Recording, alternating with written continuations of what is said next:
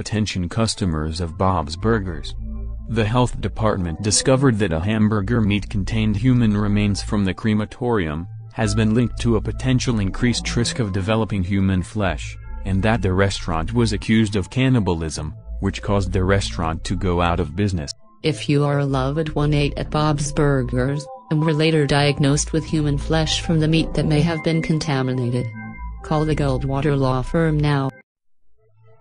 The diagnosis human flesh has been linked to serious side effects including food poisoning, rashes, and even death. Call us right now. You may be entitled to substantial compensation.